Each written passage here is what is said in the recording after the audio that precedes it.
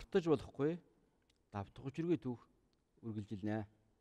Тэгээ энэ бодогийн баримт бичгүүдийг 90-ийн 15 хүний тухай бол бүр одоо бүр тусгай судалгаа хиймээр юм шиг байна. За тэн дээр зөвлөлтийнхний байцаасан тэр зөвлөлт бодог байцаасан хүн чинь бол бодоо хэрэгээ хүлээхтэй бол нилийн юм хүлээсэн. Тэгтээ тэр Америкийн консулт ерөөсөө би уулзаагүй гэж одоо зүтгэсээр байгаа л тэгээд гарсан шүү дээ. А зөвлөлтийнхэн бол уулзаад байна гэдгийг мэдсэн. Зөв улаан цам яг барьж авч чадаагүй юм байна. Гэтэ бодоо өөрөө хүлээгээгүй. Тэр нь Шүмяцгийн хоошоо бичсэн юм байгаа тийм. Тийм тэрэн дотор уулзлаа гэж байгаа. А Сокобын уулзах нь уулзсан юм билээ. Уулзсан. Сокобын бол бас уулзсан гэдгийг хэлж байгаа юм тэрэндээ. Тэр нөгөө нэг өчиг мэдүүлгээс бодогийн юун дээр чинь гарын хурууны ихээ дарсан. Ихээгээ дарсан баг. Тэр бодогийнх мөн үг шүү. Тийм.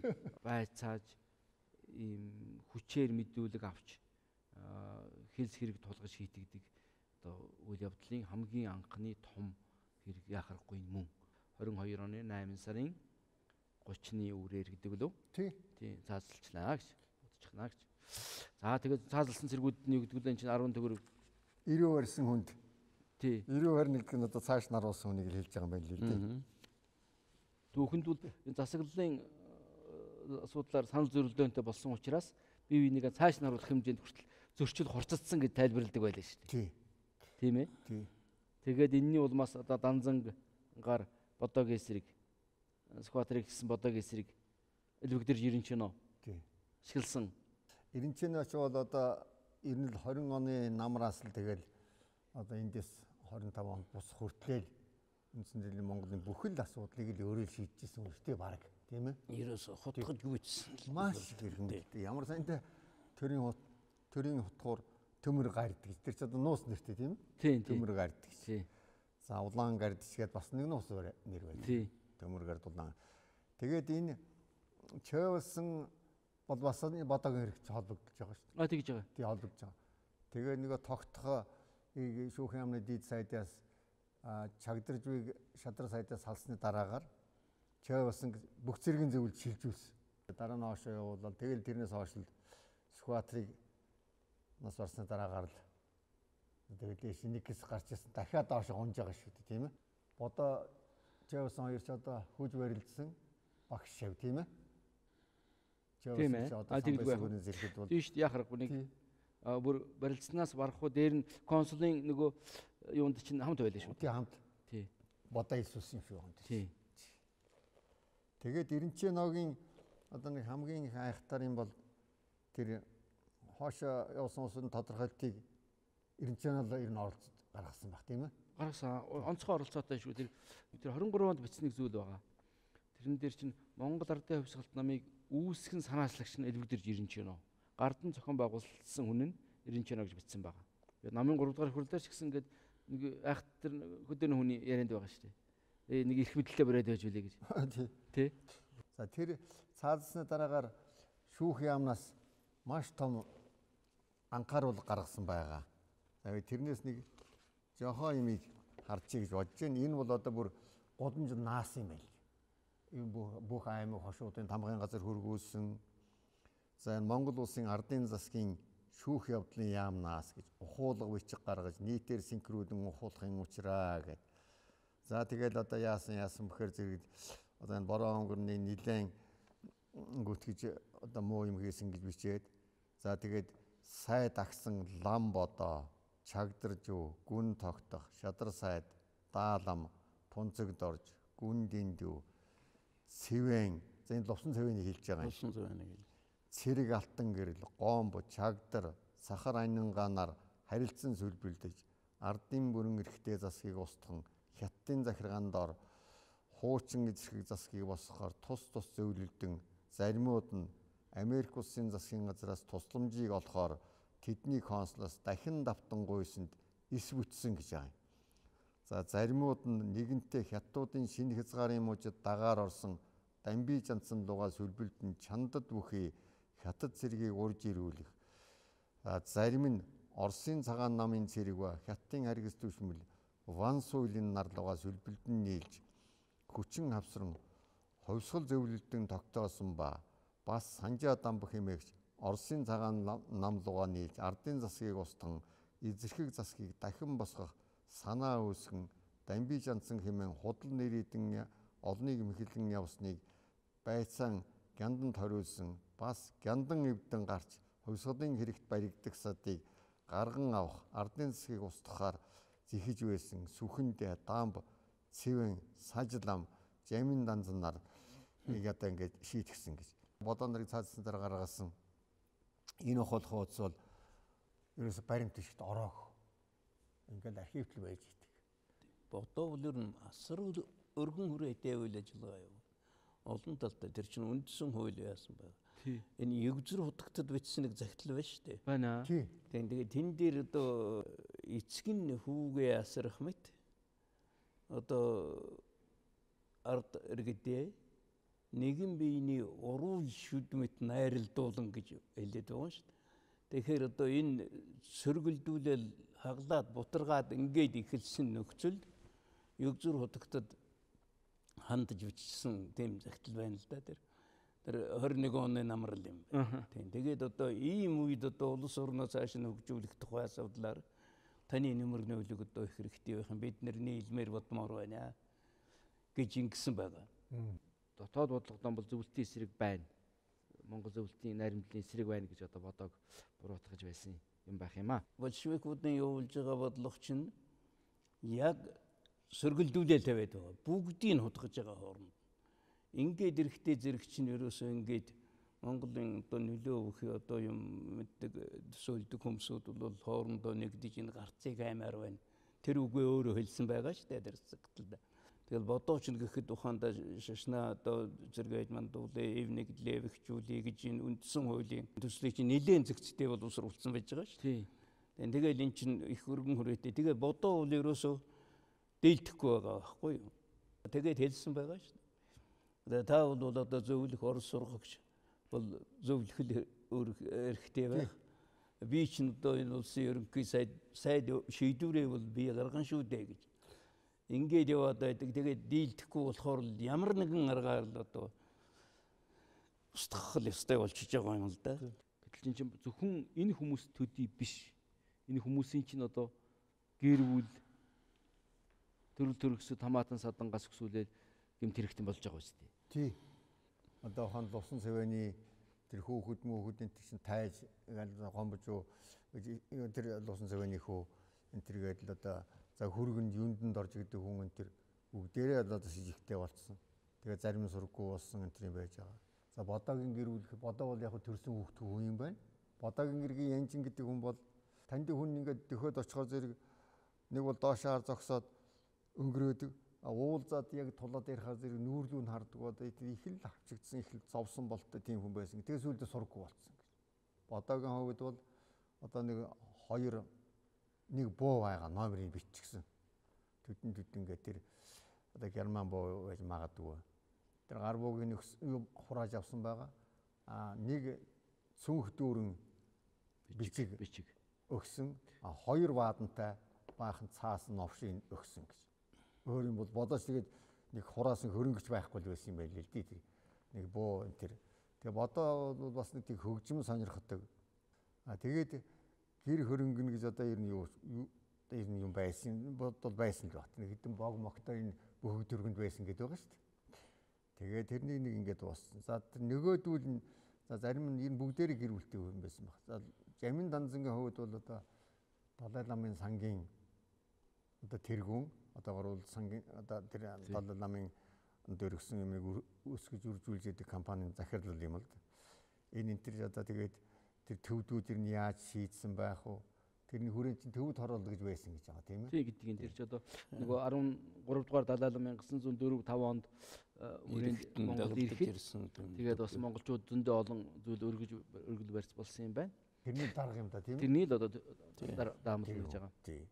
За тэгэхээр энэ зөвлөлтийн одоо энэ коммунист намынхан гida тэгээд за жишээ нь одоо нөгөө данзан бодоо сүхбаатар гэл ингээл өксүүлээл энд эрхэж нууцаар зохион байгуулад за одоо нутагтаа авчиад эрхүүд авч сургаад 21 оны 3 сард энэ хаагтад ингээд нам байгуул жөгөөд ам за ийм юм байгуул ийм юм хийн шүүгээ тархийн нэлээд савгааж өгөө цэнэглээд тэгээ авцраад энд төрийн нэргүүлээд ингээл засаг төр байгуулад ингээд явуулсан чинь нөгөө улсууд нь бас л энд ирээд үгэнд нь ордог бай.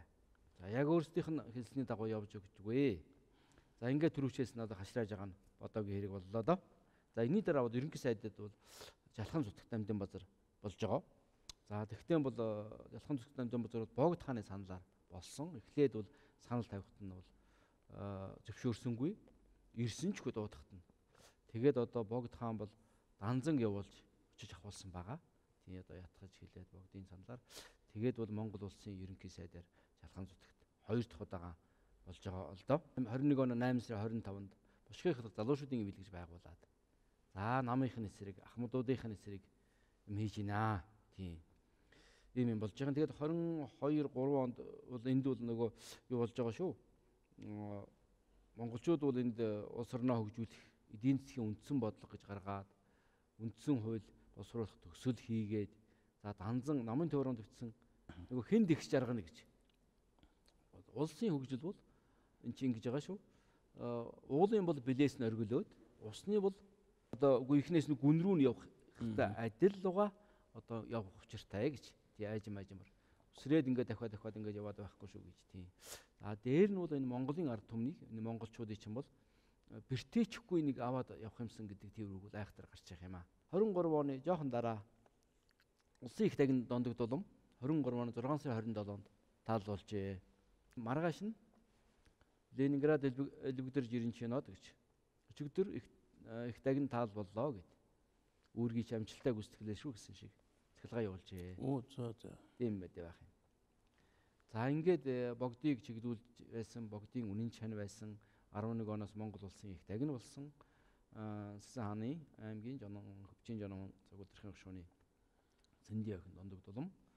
За ингээд бүхэл амьдралаа одоо Монгол энэ зориулж ягаад ингээд таалуулжээ. Тий.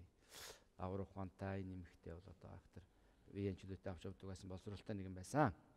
За энэ 23 оны хавар Монгол улсын ерөнхий сайдаар болоод удаагүй байсан жалхам зөвхт дэмдэм базар таалуулчихж байгаа тийм ээ. Тий. За ямар шалтгаанаас болоод Одоо жалхан сүсгчэнд 49-тэй энэ таал болж байгаа. За яг хол агшин жилээр гисэн барьсан гээл одоо юм бий л дээ. Тэгээд жалханзын гэрээс мэрээс маягийн бас байж байгаа. байна тий. За тэгээд одоо Монгол улсын төрийн засгийн газрын тэргүүн нас барлаа. За зөвлөлт Монгол Орос монголч одоо ах トゥ одоо гэрэмэрэ байгуулчихсан. Тэгэхээр энднэр одоо яаж хандаж өгөхээр одоо мэдээж нэг ядаж нэг имгэн илэрхийлсэн ч байдаг юм уу? Тэр нь бол байвал байх ёстой тийм ээ. Ер нь байхгүй. 23 оны 9 сард баха орлогч, жинхэнэ орлогч сайд байсан. Зэрэн дэрж байгаа. Ерөнхий сайд болж байгаа тийм ээ. Тийм. Тийм. За ингээд 24 он гарнаа.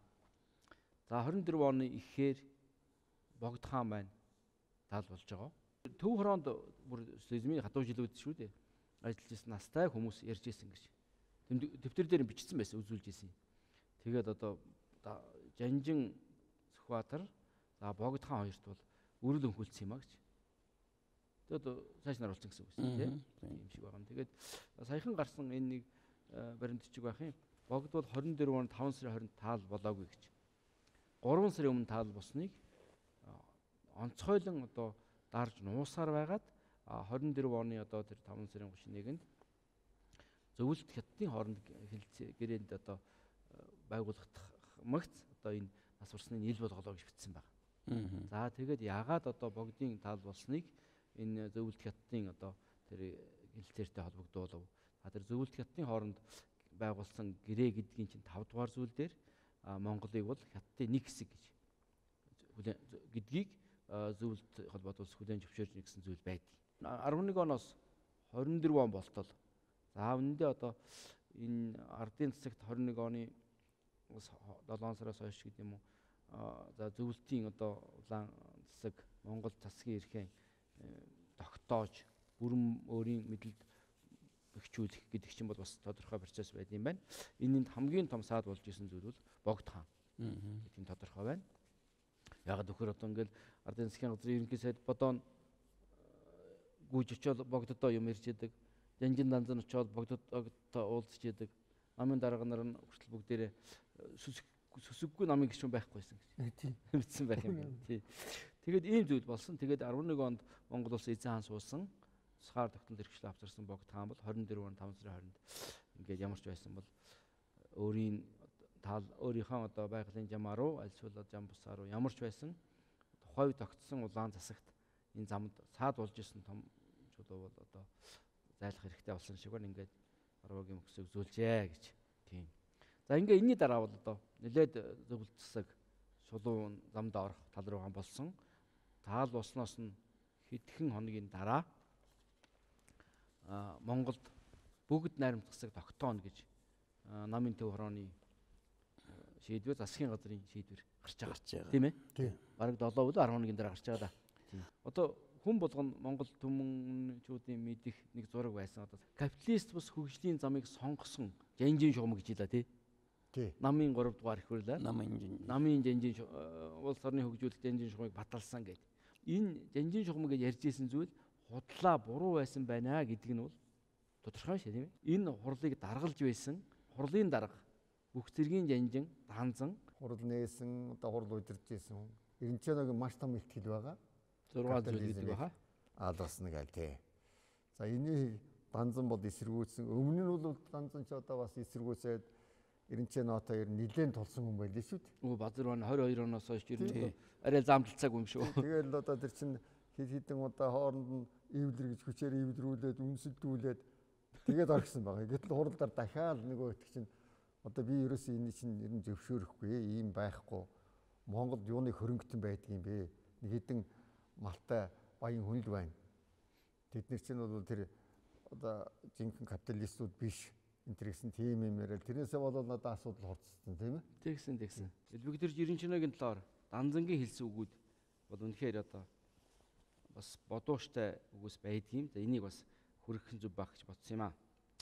1924 оны хавар намын төвөрөнөөс хэрэгсэн зохион богс Улаанбаатар хотын намын үүрийн хамтарсан хурал дээр э, данзан хэлэхдээ Иринчино бол хуурам мэхлэгч Оросоос суулгасан төрийн хутгуур. Хувьсгалын эсэргүү эзэрхэг харигс дарангуулагч итгээд юм байна гэж. Намайг элбэгдэрж зайдалж байна. Элбэгдэрж өнөөдөр намайг тонилгоод маргааш та нарыг тонилох болно хэмээн одоо сануулсан айхтар утгатай үг хэлсэн байх юм. За бид өхний ярьж исэн одоо намын 3 дугаар их хурал дээр элбэгдэрж ирэнчэнэ айхтар тийм ер нь бол э, хурлын тэр процессыг зохион байгуулсан байгаа. Үг гэлэгтний хүмүүсээр орилуулах за хин хин араараас нь хэлэх үн тэр гээд. Тэгээд одоо яг л одоо элбэгдэрж ирэнчэногийн цаг ирлээ гэсэн тэр мөчөд бол ирэнчэнө данзангийн тухай үг хэлсэн. За энэний өмнө бол бас хурлын дундуур нэлээд олон юм болсон юм аа. Э, Тэрийг бас манайхан ярих бах зэрэн дэрж байгаа тэр залуучууд танд үг хэлсэн. За элбэгдэрж ирэнчэний хэлсэн байг данзангийн талаар. Данзан бол манай бүх ирээдүйд туйлын ирээд аюултай гэж. Бижиж дэрсэлсэн үзэгдлийг төлөөсөн хүн.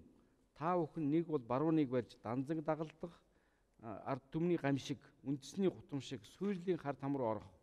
Эсвэл зүүнийг хэрхэмлэн эрх чөлөө үнэнхүү ардын эрх ёсныг игэн тунгалганараа үд замнах хоёрын нэгийг сонгох ёстой байна гэж. Хэрвээ та бүхэн данзанг дагвал Монгол орон хятадын хойноос орно гэсэн үг. Монголын ард түмний үйл хэрэг үрд мөхөх болно гэж.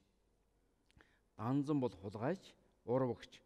Данзан засгийн иргэнд байгаа цагт манай улс хизээж амар тайван байхгүй нэлт байна гэж. Тэгэхээр энэ хулгайчийг устгах хэрэгтэй.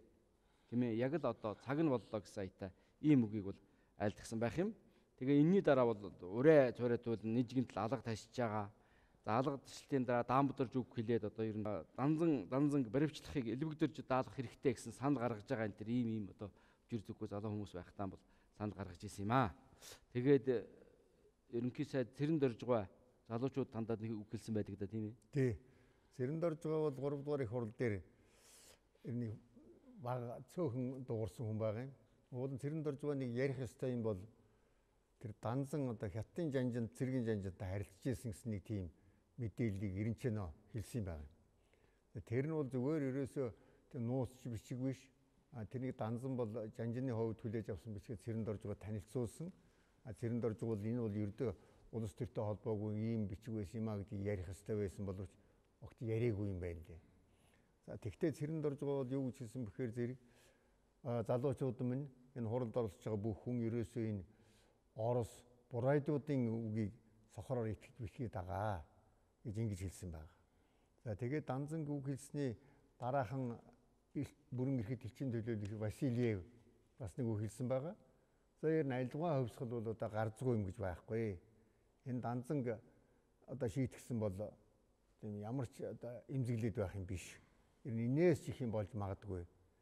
Энэ бол ердөө Монголын хувьсгалын ирээдүйг одоо зэгцэлж өгч байгаа юм, замын шулууж байгаа юм гэсэн байдлаар тийм үг хэлсэн байдаг. Тийм цаазлсных нь Тий, дараа. сонссны дараа Тий одоо энд бол өөр гомроход 8 сарын 31-ний одоо урал дээр шүүх юмны дид сайд төвшин төр одоо данзан баасаа хоёрыг цаазалжглаа гэж танилцуулж байгаа.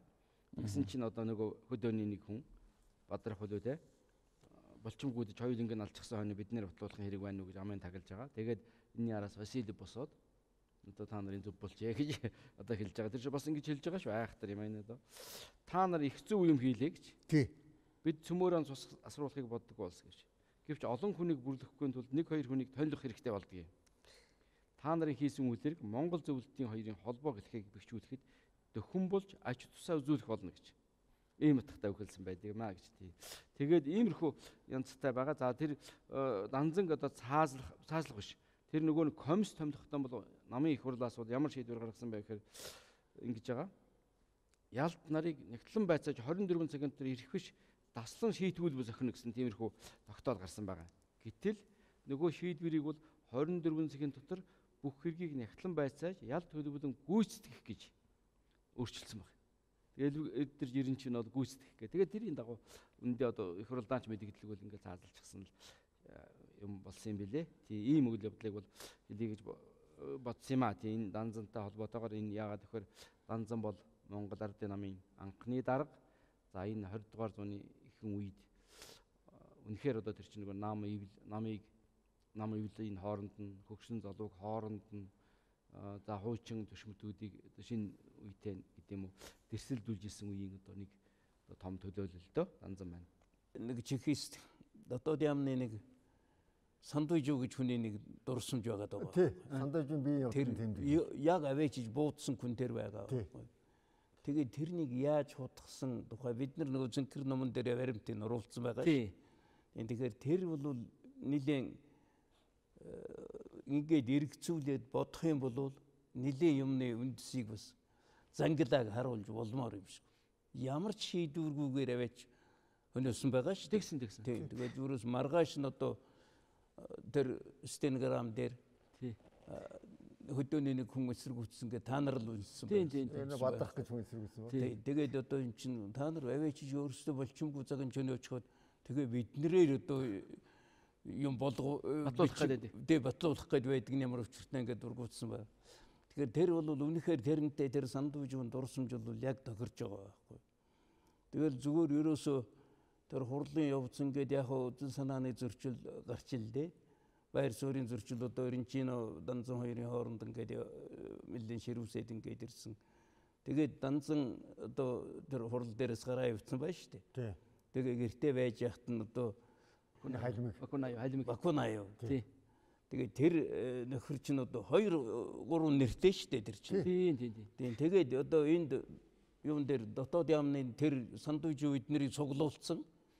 Одоо эргэлт гарах гээд байна цаан чинь бослог гаргах гээд байна гэд дотоод яамныхныг цуглуулчаад байхад нь тэр нөхөр ирж тэр чинь нэгдүгээр дивизийн сургагч гэж бас өөр нэртэй явж байгаа. Нэг хүн шүү дээ тэр чинь 2 3 газар 2 3 яв. Тэгээд ирээд одоо цаан чин дан- данзан одоо жинжин данзан бослог гаргаж ийн одоо оровж ийн одоо цэргүүд одоо тэрнийг дагах гэж ийн гэж тэгээд нөгөө дүүлийг дахиулсан тэр нь худлаа байсан энэ тэр гэдгийг чинь тэр сандууж өвч хэлсэн байгаа.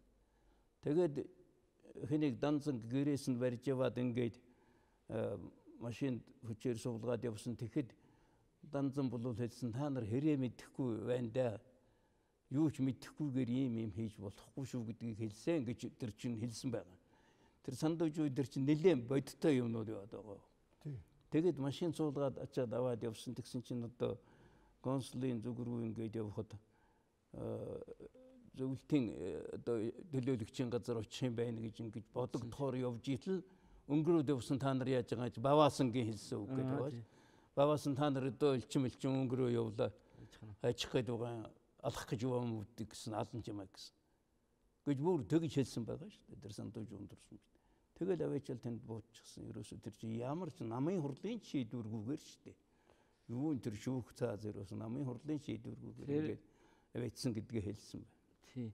Намын хурал дээр бол ер нь ямар асуудлаас болж маргасан гэх юм бол зөвлөлт Орос улсад одоо өмнөх улсаар бид нэр харилцаа тогтоосон гэдгээ одоо нэгэнт яасан энэ дээр ахин дахин одоо оруулж одоо тэр нөгөө Баяр нэг хүргэж баталгаажуулах. баталгаажуулах ийм шаардлага байхгүй гэж ганцхан хэлсэн Ганц байна. хэлсэн тийм. Тэгэнгүүт элбэгдэр жирэн чинь угаасаа тэр хоёр чинь таарахгүй байдаг. Тэгэл босоод ирсэн. Тэгэл энээс бол хоорондоо э, тийм мэтгэлцээ маргаа болсон.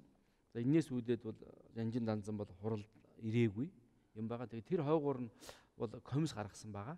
За тэр комиссд бол э, хэн орж байгаа? Чой ус орж байгаа шүү дээ. Чөөсөн орж. Насан бат. Даанбод орж бас орж байгаа. Тэгээд данзан ирээгүй. Тэгээ энэ үед бол тэр намын их хурлаас гаргасан тэр комиссд өгсөн шийдвэр бол юу гэдэг вэхээр энэ хэргийг асуудлыг олж шийдвэрлүүл гэсэн зүйл байдаг. Гэтэл тэн дээр хувийн гэдэг юм одоо тиймэрхүү заалт байгаа. Энэ хэргийг одоо асуудлыг шийд дуусгах гэсэн нэг тиймэрхүү үг. Яхахгүй тэр элбэг дээр Жирэнчоногийн тэр хувийн их хурлын юунаас гадуур тийм шийдвэр өгчихсэн шиг тийм зүйл Аа, байгаа.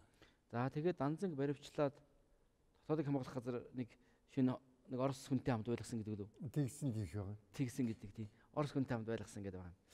За ингээд авчиад бол тэр ямар шийдвэргүйгээр бас л 8 сарын 30-ны үүрээр шаардсан 24 онд хуралдаж байгаа намын их хурлын дундуур ингээд цаазалсан юм.